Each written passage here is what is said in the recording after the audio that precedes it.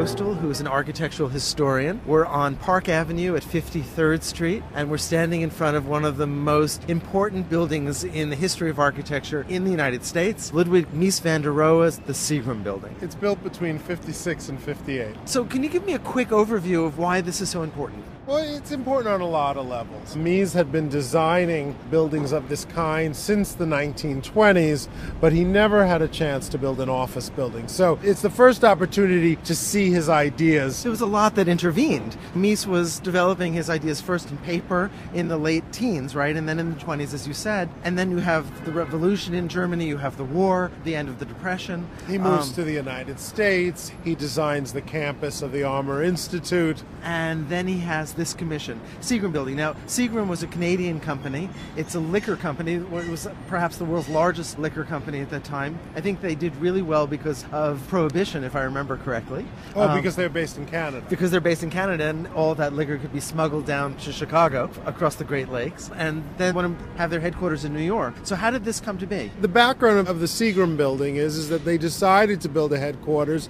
in the mid 50s. They looked across the street. They were impressed by all the notoriety that Lever House had um, had garnered, which was that first real modern icon to show up on Park Avenue. First curtain wall building in Manhattan. Okay. Charles Luckman, who had been one of the chief executive officers at Lever, uh, had been trained as an architect and had left Lever to open his own firm. Okay, and so did Bronfman, who ran Seagrams, turn to, to Luckman then? How he, did, he, hi- he hires Luckman, uh, and Luckman gets way past the preliminary drawings. There's a large model. The model is sitting in his office when his daughter comes to visit, Phyllis Lambert. What does she have to do with well, she, she, was studying at Harvard in, in, the graduate school of, of architecture and design. She said, Dad, that's the most awful thing I've ever seen. no, I hope Luckman's not listening. And so what does she do? Well, she says, Dad, we're going to go over to the Museum of Modern Art and you're going to speak to Arthur Drexler, the, uh, the chief curator of architecture. Now, MoMA is only a few blocks down the street on 53rd as well, so this was not a long stroll. And what did Drexler tell Bronfman? And Drexler said there were three choices. There was uh, Le Corbusier, the French uh, architect. Right too difficult to work with, he said. Okay. There was Frank Lloyd Wright. The, the obvious choice, the American. But too old. Ah. He was almost 90 years old. And uh, he suggested that they go with Ludwig Mies van der Rohe and that's what they did. What has Mies done here? Well, he's built a relatively simple form, a bronze clad slab of a tower. Okay, hold on a second. It's bronze? It is bronze. Sculptures are made out of bronze. Well, that's why I always say that this is not only one of the modern icons of architecture in New York, uh, but it's also one of the most classical buildings in the city. Okay, that's interesting. So you're thinking classicism in terms of the ancient Greeks creating sculptures. This is a building that actually has a patina, like a sculpture would. It's not just a, a uniform dark brown black, it's actually got some subtlety to the color in, in really an enormously sophisticated way. It's a little darker than it originally was, but imagine that each year, at least once a year, they rub it with oil so that it does not oxidize. Oh, that's great. So it doesn't turn green or, or red or what have you. Yeah. Any of the chemical reactions that bronze might have. But uh, Mies really loved Greek architecture over all other things. And so he designed a building that is very symmetrical. It's a very disciplined aesthetic. And if you look at the various pillars that run across the front, they look vaguely like fluted columns. Okay, so that's really interesting because they do have these vertical striations. And so it is a kind of fluting. And in fact, the whole building is up on this platform it's almost like a Greek stylobate, as if we were looking at the Parthenon. Absolutely. There's a sense of proportion here that feels very classical, and it's incredible to be able to say that despite the building's height, because this is a big building. And the Greeks were working on a much smaller scale, the Romans were working on a slightly larger scale, but nothing like this. And yet. Well, that's the challenge. How do you distill the lessons of the ancients in a building that's made of metal and glass? Well, and is that an, even an absurd project to try to take an industrial culture and an industrial material and wed it somehow to buildings that are 2,500 years old? Mies would say no. Why is that legitimate? Because I think that the modern movement in architecture was always looking for some discipline. Uh, it was always looking to balance old and new, and this was one of the solutions that he found. So let's take a look at the building. It's very clean. When you look up at it from below, it just soars. The term that comes to mind is a vertical velocity. Uh, like just, an ascent. We just rocket upward visually. How's he pulling that off? Well, we'll look carefully at the vertical mullions that are between the window bays. And they basically rise without interruption from the base of the tower to the top. I'm looking at those now, and they're they're not simple mullions. Look like I beams. They're girders. Right. What- what's going on?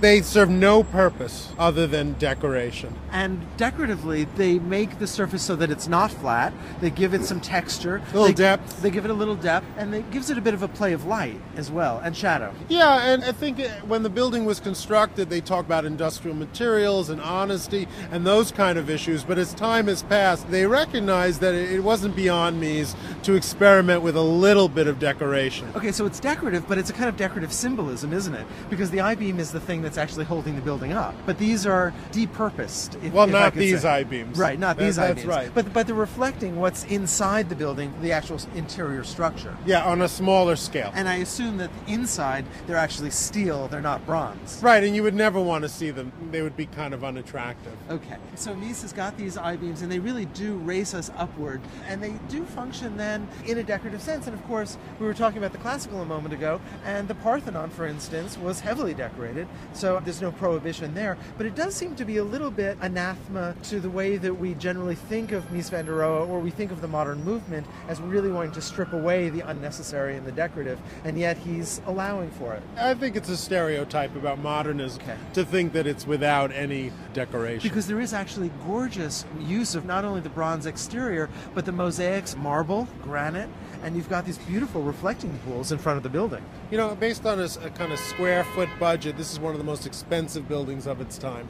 Because it's not using its entire. It's not using the entire lot, but no, because of the materials. Bronze Okay. costs a, a great deal more than aluminum. It's a fortune. It's mostly copper. Um, look at the travertine that the elevator banks are wrapped in. You know what I find really interesting? When you look at those elevator banks, and what, there are four of them, they actually move past the glass membrane that, that encloses the lobby. The glass is like a, a soap bubble, and they've pushed through it. It's- I think they give the building real solidity. so that's what visually holds it up. Yeah, and also it makes reference back to the ancient Romans because so? that's Roman travertine. Oh, it's travertine, of course, right. So again, Mies is constantly referencing antiquity. You had mentioned just a moment ago this forecourt. The building is really not using much of its footprint. The building is really deeply set back on Park Avenue. Uh, About as far back as it could, although it has a couple of smaller additions in the back. When Mies was asked why did he set the building back so far, he said that he wanted to pay respect to the racquet and tennis club directly across the street, that he did not want to overwhelm that great Italian palazzo by McKim, Mead and White. And it's actually one of the great buildings in New York. This is quite an intersection. You have Lever House, Tennis and Racquet,